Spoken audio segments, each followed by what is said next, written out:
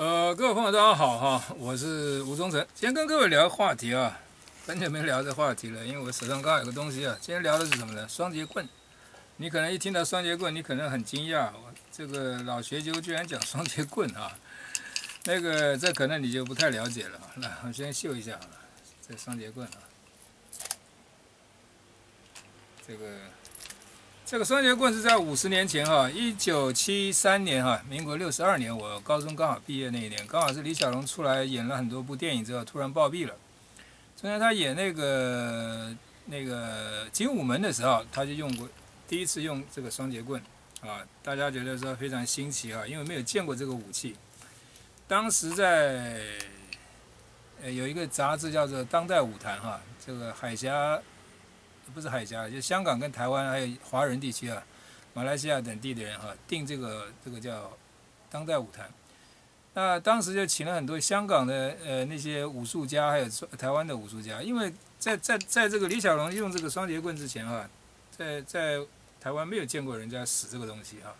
然后这个后来就香港的那些武术家就说，在他们香港的武术里面啊，中国武术里面没有这个没有这个兵器，说这个兵器不是中国的。说这个兵器是日本的，那到日本去去考察，就发现到这个兵器既不在，呃，在那个什么各种各种武术里面哈，甚至于到琉球好了，中国呃那个日本的古代武术都在琉球哈，琉球那霸冲绳这地方，空手道就发源自那个地方，那边现在还存在了很多的武术，另外还有在忍者，忍者在伊贺忍者他们也没有这个武器啊，因为那个忍者他必须要平常要化妆成农民，啊呃路人，所以他们。不不方便带这个东西，这个东西很明显就是一个武器嘛。但实际上这个东西哈，那李小龙耍这个东西，当时很多人批评他，还有他的步伐等等等哈。呃，很多那个所谓的传统武术的人哈，那些老师傅都批评他。呃，批评的那个内容我就不讲，我们今天只讲这个双节棍这个东西哈。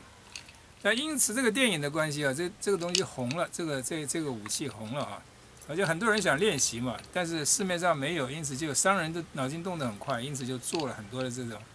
呃，这种这种这双节棍。我现在手上就有好几只哈。那那这个是硬木的哈，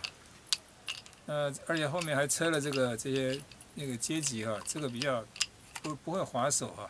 那今天我我我不准备捂这东西，因为这个要捂这要有空间哈，而且这东西是。实际上，这个这个武器哈，如果作为一个武器来讲的话，它谈不上是一个什么武器哈，因为它并不是，并不很好用。你可以看李小龙表演的非常很很精彩哈，但是他这个东西不是一个很好的武器哈，但用武器来讲是不是很好？那当时我曾经也曾问过台湾一些老师傅们，那老师傅们说没有没有见过这东西，可是他们认为说这个东西哈，有一个东西类似哈，在中国北方有一个东西叫做。是这样子的啊，在一个长杆子后面啊，后面后面后面用这个链子哈，然后来固定一个短棒，啊，用一个长杆，就像比如说齐眉棍那样子的，他拿这个东西来怎么来打那个谷子，啊，就在那个谷子在晒谷场上那个晒着的时候，他拿这个东西去这样啊，用那个长杆这样这样甩的时候，他就打上那个谷子，把那个脱力了。简单讲就是脱力用的，那个叫做哨子棍。因为是一个一个农具哈，所以也引引发出来一些招式哈。凡是那个练过武的人哈，大概都会都会想象出来这有很多招式。比如说这个双节棍也是这样啊，因此就会这样。所以你看这个是两用的啊，接起来就是一个双节棍。而这个双节棍是很特殊的啊，它是一个橡胶的啊，橡胶的啊，里面是木头的芯，里面是硬的，外面是橡胶。也就是你练习的时候或者是对练的时候，你打到不会痛。啊，不会受伤。那呃，以前还有曾经有有人玩过，就是呃，双方都用那个，双方戴了这个机车的安全帽哈，这个没没有面罩的啊，这样来互相来互相来打啊，真的打，因为这个打在身上是会痛，但是但是不会不会很严重，就是用这个来互相的那个呃对练啊，真实对练对打，以前就是用这种的。那这个当时在台湾是禁止的哈，这个那个一般不准禁止贩售，他认为这是一个武器，因为李李李小龙电影嘛。那那但是也有有时候也会有人在那边练习或者表演啊。那这这些东西是怎么来的呢？这这这已经这个已经有五十年历史了哈。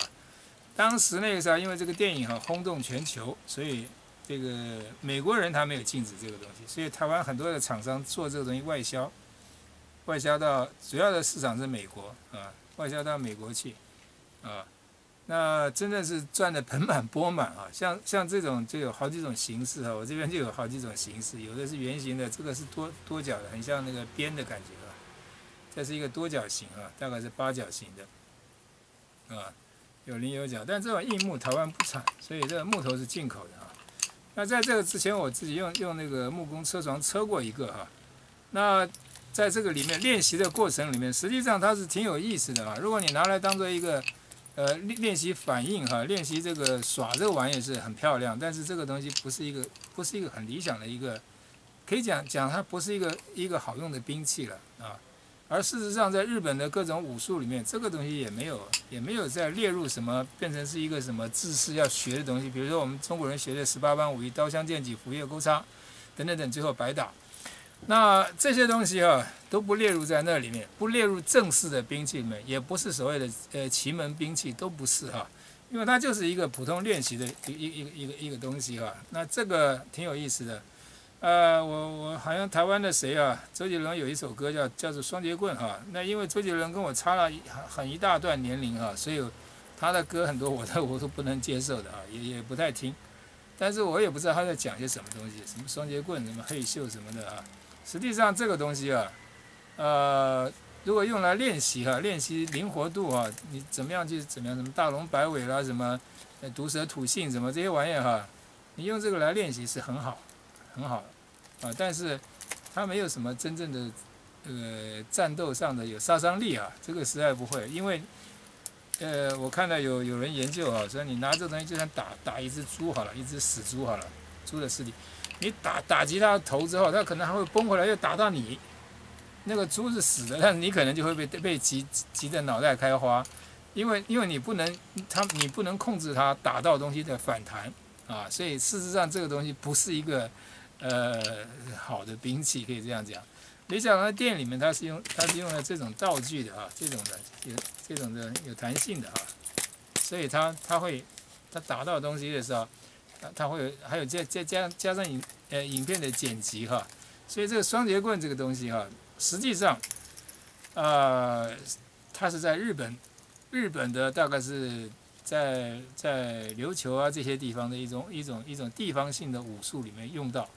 那它可能源也是源自某一种有某一种农具，我刚刚已经讲过了，中国北方的那个打谷子用的叫哨子哨子棍，啊，就是用这个类似这样这样，只是它那个两一个长一个短，那这是两个一样长啊，就叫双节棍。那当年这个台湾这个外销这个东西非常多哈，所以在市面上你可以看到各式各样的啊，啊，这个我就竹繁不及备载了，反正这个长度哈跟它的那个这个粗细等等哈长短都没有定式哈。在这个双节棍出来之前哈，我们从小就知道哈，有有中国武术里面有三节棍，三节棍，三节棍下去就没有什么四节棍、五节棍没有了，那就是九节鞭啊，三节棍九节鞭就这样子啊，然后再来就是软鞭啊，就就是这样而已。那那这个这个这个双节棍这个东西啊，不在中国武术里面，所以也没有什么练法。那个时候当时出了那种小册子哈。还要偷偷的卖啊！那里面其实那个小册子当时没有录影，没有录影带可以可以看啊。但是有些李小龙的影片，你多放几遍，你拿这个东西练一练，你很快就上手。因为这个它里面的招式啊，就你你就是几分钟你就上手，可以这样简单讲就是这样子啊。那但是我刚刚已经讲过哈，双节棍这东西呢，没有什么太大杀伤力，而且还对自己还有点危险啊。根据，如果各位有兴趣，可以上网去搜一下哈，有人在做那个实验啊，拿双节棍怎么怎么样啊？那只是说这双节棍给我们一点一点这个一点一点这个 idea，也就是这个的双节棍的长短是根据你的手的手的长度啊，手身体的长度。如果说呃太短啊，你根本就夹不住，或者是很多动作你做不出来；太长对小孩也不行，也不能用，变成那个三节棍去了啊。三节棍的做法又跟这个双节棍完全不一样哈。那个双节棍主要是它灵活，但是它它只是练练习身手而已，没有没有什么杀伤力可言啊。呃，今天有有有呃跟各位聊这是因为发尸骨之幽情啊。